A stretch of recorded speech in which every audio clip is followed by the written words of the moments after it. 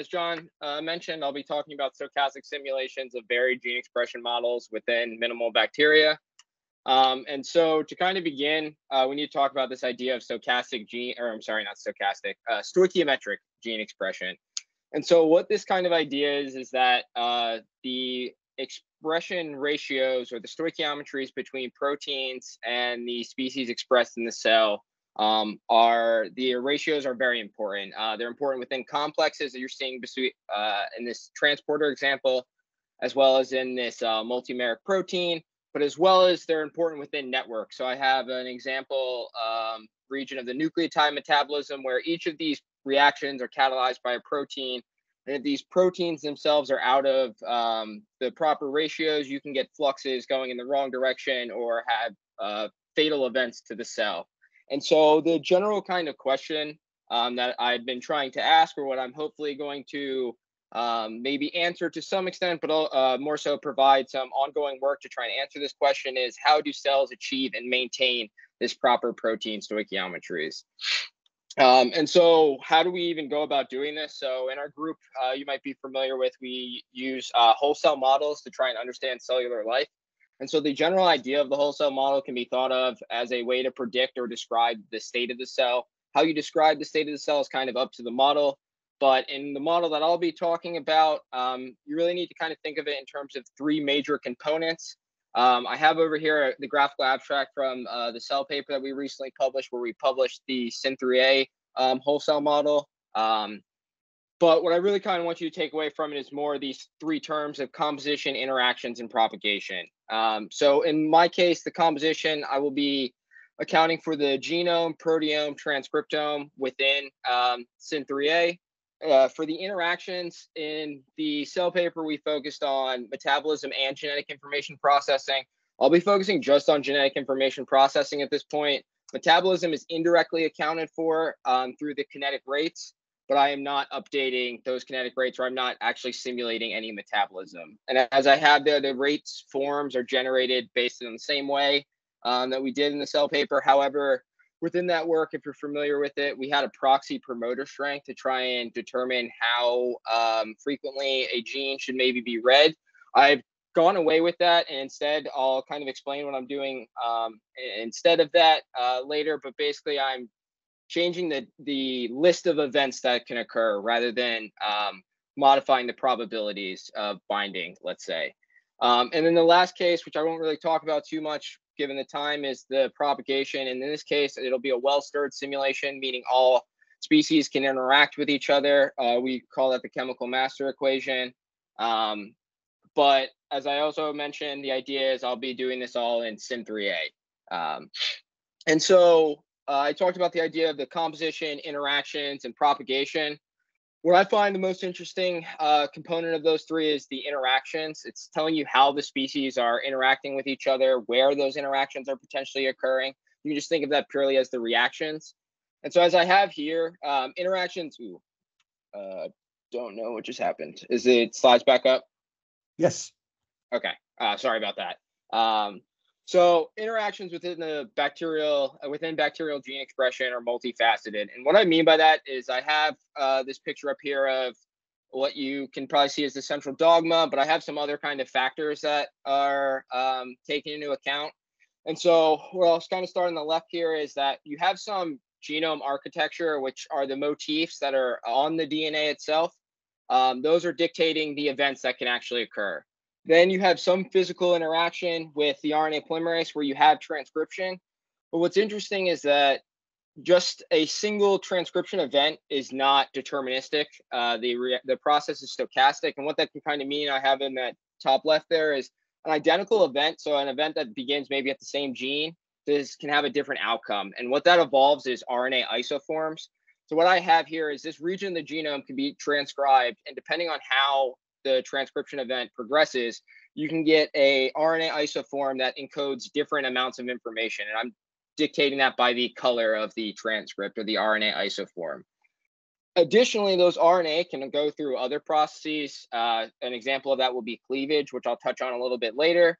Um, and then those RNA isoforms can also be decayed by the degradosome and then more importantly, they can be differentially translated. And so what that is just kind of meaning is that again, different transcripts, even if they have the same information, or in the case of these uh, top two, where they're both encoding uh, the orange and blue gene, depending on how they interact with the ribosome, you can actually get different amounts of proteins that end up being evolved. Um, and so what I'm mostly going to focus on is kind of the transcription side of things. I'll talk a little bit about post-transcriptional, but um, for the brevity of the talk, I will only kind of be focusing on transcription explicitly. And so to modify or modify to uh, simulate the uh, transcription, you need a set of interactions. And so I mentioned the idea of uh, we use a proxy promoter strength to modify um, the kinetics within transcription within the whole cell model of the cell uh, paper in 2020, uh, Thornburg et al. Um, in this case, what I'm doing is I'm I am dictating the transcription events based on allowing for single gene expression on the left here um, and co-expression on the right. And so the way that's determined is uh, in some previous work, and I'm not really going to touch on it too much here, but we did some transcriptomics and I additionally did some computational predictions of the different motifs within um, SYN3A. And so what I'm showing here is that you can actually then determine the promoters, determine the termination loops, and kind of outline the transcription events. So in this single gene case, you have three transcription events that would evolve each of the three genes individually. In the co-expression case, all three of these genes would be expressed at the same time. Uh, think of like an operon. Um, so what I'm now showing are the reactions. The reactions for the single gene case are pretty obvious. It's just the DNA or RNA polymerase binds to the gene. You have your transcription event. That messenger can then be translated and also degraded. And what you'll notice is that the identity of the messenger is always corresponding to that specific gene. Um, in the case of the co-expression is where it gets a little bit more complicated is now what you have is a binding event that only occurs at uh, the transcription start site for gene A and what you end up evolving out of this is what I'm just describing as an RNA TU. And so in this case, that would be a, a messenger that encodes all of the information in, of genes A, B, and C. Translation then happens a little bit differently in the kinetic model now because you need to evolve each of the proteins. So what I do here is have kind of a hopping between states. Um, as I mentioned before, this is all ongoing, so this could potentially not be the best way to handle translation in this case. Um, but for this presentation, the way I'm currently doing, I'm handling translation by going through these intermediate states. And then degradation, you just have that um, TU be able to degrade uh, via the degradosome. Now, um, before I kind of move on, I guess I should quickly touch on the idea of the post-transcription, or I'm sorry, post-trans, yeah, post-transcriptional um, processes. And so in this case, I didn't really do too much post transcriptional. The major thing that I've done is translation and um, and mRNA decay, but I'm not really modifying that in any way. So there are inherent issues with it. But what I did uh, end up doing is I added in cleavage. And so why I added in cleavage is um, there was some transcriptomic data that I alluded to where we did Oxford Nanopore, which gets long read sequences of um, the messengers within a cell. And so what we're able to do with that is actually look at how complete the transcripts are. And so what I'm showing in this figure at the bottom here is if I have those genes A, B, and C, I can have transcripts that were determined or measured by the experiment, but they are not complete. And what I mean by complete here is they have all of the coding information for the genes that they are assigned to. So if you notice here, the blue one is the only one that goes the full length of all three genes. So if a ribosome were to translate this uh, messenger, it would be able to make all three of these proteins, whereas these other two, they are missing some information. The most interesting thing and why, again, post-transcriptional um, modification or post-transcriptional processes, I should say, were added slightly was because of this um, kind of result that we got where only around 15% of the total transcripts observed in the experiment are actually full length. So they have all of the uh, genetic information for what they're determined to code for. Um, this has been observed in E. coli. And so, why I find this kind of interesting is it kind of alludes to um, there being most of the transcripts have been processed in some way, whether it be cleavage, degradation, or maybe an interrupted transcription event or something like that. But there's some process in tra- post transcriptionally that is uh, modifying the transcripts where they do not have all of their genetic information. And so, how I handle that in the model to go over it, um, it's pretty simple. Is just I cleave based on the identity of a transcript or uh, the identity of the genes within a transcript. So we have three kind of cases here. In this first case, where all of the um, genes are mRNA, no cleavage occurs. This would just go to the ribosome, degradosome. Um, in the case where all of the transcripts or all of the genes, I'm sorry, in a transcript are non-mRNA, I cleave them indivi- um, individually into individual genes, and then they're added to the total pool of whatever uh, non-mRNA they are. So that could be tRNA, rRNA, for example. And then the kind of intermediate between the two examples is if you have a heterogeneous uh, transcription unit where there are genes of multiple identities, I cleave according um, to the same kind of methods above, but I make it so that all of the RNA uh, or I'm sorry, all of the mRNA are kept together, and then all of the um, non-mRNA are cleaved into individual units. Um, so, if, for example, there was a uh, mRNA on the other side of this, which would be like gene D, that would be cleaved into an individual um, transcript only encoding gene D. Uh, and so now, kind of with the model somewhat laid out or how I'm handling this, we can kind of go on to some results. Some of this is a little bit pre preliminary, but what I really want to just highlight is the impact of the transcription unit architecture. So what I have here, and I'll show some data on the next slide actually plotted out, but I think this is kind of easy enough to see in a table form, is that based on um, the parameters that I'm using, I can see different observable outputs. Uh, basically, I see different cell states or different computational omics. In this case, I'm looking mostly at the transcriptomics uh, computationally in terms of how many messengers are at achieved at the steady state um, of the simulation. And so the parameters, just quickly going through them, is this is the active fraction of RNA polymerase. Uh, due to the length of the talk, I don't have enough time to go into it, but the way or why I'm using this is I'm determining the K on based on this uh, expression you see here, where if you assume equilibrium, you can actually solve for what the K on should be determined by the active fraction of RNA polymerase.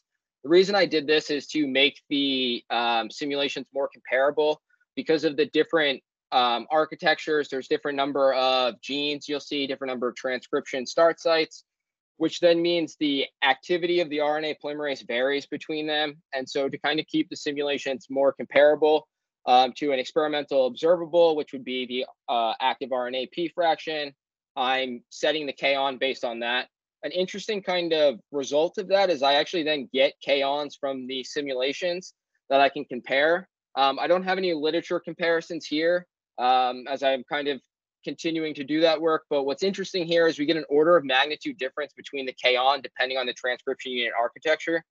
So what I would like to do kind of with this is see if experimentally is this observed and does this maybe um, hint at one or the other is in better agreement with the observed K-on, and that maybe makes more of an argument to use that transcription unit architecture within the simulations. And then the last kind of point I want to make is that the number of messengers varies between them. What you'll notice is the single gene tends to have more uh, messengers, but I'll caveat that based on the fact that in the case where I have degradation and translation, that is also going to modulate the mRNA numbers, and that is not as fine tuned. So I've turned that off in this last uh, two columns. And what you'll notice is, yes, there's an order of, uh, or there's a factor of three difference between the total number of messengers. What's actually interesting is the average number of genes per TU is about three. So if you were to multiply this number by three, you're actually getting about the same number of messengers with not as many um, transcription events occurring um, due to the fact that your RNA polymerase is not binding to the DNA as frequently, but when it binds to the DNA, it is generating more um, genetic information per binding event. You can think of it that way in these in this model. And then in this next slide, I'm just showing kind of the traces of the mRNA uh, between those two simulations, just so you can kind of see it graphically. And I'm not just kind of making um, the numbers up. The last thing I want to touch on um, in the model is actually something kind of interesting um, that the transcription unit expression actually evolves uh, transcriptional patterns that we observed in the Oxford nanopore. So what I'm showing here is the DCW operon. Um, and what I really want you to just pay attention to is the sequencing depth. You can just think that as the transcriptional activity of a region. And what you'll notice, the transcriptional activity kind of decreases as you go um, to the right. Um, so that would be towards the three prime end. Um, or I guess I guess five prime end if you're looking at how it's transcribed. That's slightly basically to the right is the simplest way to look at that. And what you'll notice in this plot here, where I'm looking at the relative mRNA copy number, if you look at the single gene event where all of the probabilities of binding to any of these genes are exactly the same, your relative copy number of mRNA is pretty much um, equivalent. They're all about one, um, their relative abundance. Whereas if I look at it in the transcription unit uh, version, so where I'm doing multiple um, expression of genes or multi-gene expression, I should say, you'll notice that it actually follows kind of this pattern of 520 is the most expressed and then expression kind of decreases as you go down. And the reason for that is the number of transcription units that a gene is in will dictate its probability or how likely or how many events there are that uh, that gene can be um, evolved. So in this case, 520, every single one of these greens is a uh, transcription start site. And so each one of these would represent a transcription event that would have the RNA polymerase going um, to the left, and all of that would generate uh, gene 520. Um, and so with that, I'd like to conclude and kind of the two concluding remarks I would like to make with this is that stochastic, or I'm sorry, did it again. Stoichiometric uh, gene expression, while it is stochastic, it is a pivotal um, function of all cellular life and how it is uh, exactly achieved is unknown. I don't believe it's going to be a one answer for um, one protein or one complex, or in the case of the DCW operon, um, those uh, proteins that work in tandem. Um, I think it'll kind of vary depending on the region of the genome, but I think it's one of those things that uh, using the transcription units, and that's kind of the second point, seems to um, achieve uh, that kind of transcriptional activity that's observed in experiment without the addition of like adding probability factors to maybe make a gene be transcribed um, more. And then kind of the future direction, some of the stuff is uh, work that's actually been done um, or is uh, currently being done is to try and improve uh, the translation and degradation um, kinetics. So again, I'm using the same binding rate for um, the these two events. And we know that between the different systems, there's different abundances of mRNA and just RNA in general, and that's going to change um, the observed kinetics um, if those rates are the same. Um, the of DNA replication is something I want to take into account. Uh, basically, as Ben kind of alluded to, where you have a chromosome replicating, there's more genes, that's more uh, possible transcription events that could be occurring. Um, incorporate some of the transcription, I'm sorry, incorporate some of the transcriptomic data to parameterize the model a little bit more based on the um, observed uh, expression levels. Uh, what I was kind of showing, the numbers aren't really important. It's more the trends. Um, I know I'm not expressing the, I'm not generating the amount of RNA I maybe would expect to. What I'm more so trying to look at is what the impact of the architecture is on uh, the observed expression pattern. The uh, another thing that could be added is co-transcriptional processing. So we know that some of these events can actually happen while the gene is being transcribed. And then the last kind of three points are somewhat lumped together is examine stoichiometries and gene expression and see the impact on complexation. So when we start to actually form these complexes, which we have mechanisms to do that and mo- a model to do that, how does the expression, depending on the transcription unit architecture, um, modify the complexation uh, efficiency that you see in the cell? that'll be better done in spatial simulations. And then this kind of last point is I would like to adapt this to Florum and SYN uh, 1.0. I kind of have it adapted to Florum um, already and SYN1 to some extent, but there's a little bit of complications with some of the parameters uh, for SYN1. And then Florum, I'm just trying to verify some things. So I'm not as familiar uh, with that system. And so with that, I would like to thank my group, all of you for listening. Um, the experimental collaborators at the JCVI and John Glass, especially uh, Angad Mehta and his um, student, and then as well as uh, Pratap Venepally and Christopher Fields for their discussions.